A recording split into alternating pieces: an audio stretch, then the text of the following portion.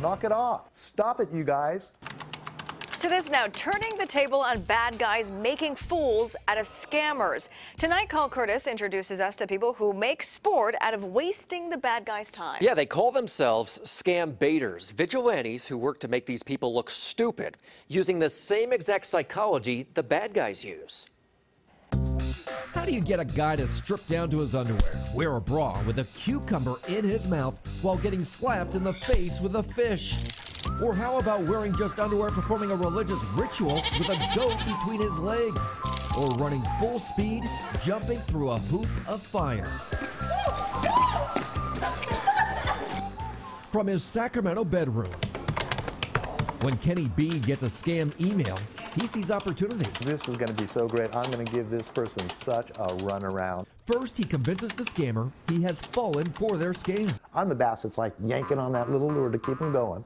But actually, he has them on the hook, making the con artist think they are so close to getting money. But first, they have to perform some tasks really meant to waste their time. I'm playing a video game live with a live human being, a chess game, if you will. Some so called scam baiters are so good, they get the scammers to do outrageous things, like take a picture smelling bread with a fish on their head, strap a toilet to the back of a bike riding through town, or strapping on a mankini. I'll be the one to harass them. Messaged by somebody named Lori who claims she's in Syria for a peacekeeping mission, Kenny says yes, he will help her get $10 million to the U.S., considering she's afraid of losing the funds in the war zone. And she is willing to give Kenny 30%. By the way, Lori looks a whole lot like NORAD commander Lori Robinson, a picture from a Google search. Kenny commends her service and spends weeks getting to know her, sending her lists of pointless questions to answer. Building the bond, he also sent her this video. Just wanted to say hello to you, show you that I'm real. Asking for proof she's real, she sends this picture. Again, a picture we found on Google with a poorly photoshopped message saying, I love you, Kenny B. Kenny then says he wants to establish a code should we need to verify each other's identity. He sends this picture to her with the code Call Kurtis. And sure enough, thinking she's about to get money, this shows up. Hi, Kenny B. Call Kurtis. Just dying by now. When a silly message shows up, it is considered a trophy. It amuses me, it screws them up, it ho- hopefully saves somebody from heartache, embarrassment, and financial loss who. And only then Kenny sends this message to the con artist. Lori, you're a scammer. I know it.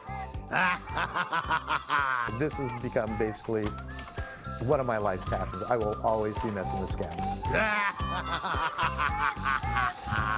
Quit it. Quit it. Well, the FBI estimates Americans lost $1.4 billion last year, 43,000 victims in California alone. Most of these scams involve a fake check you cash, you wire off money, only later realizing that check is fraudulent. Kenny has compiled some of his favorite scam baiting stories in a book called Transcripts of an Internet Scammer.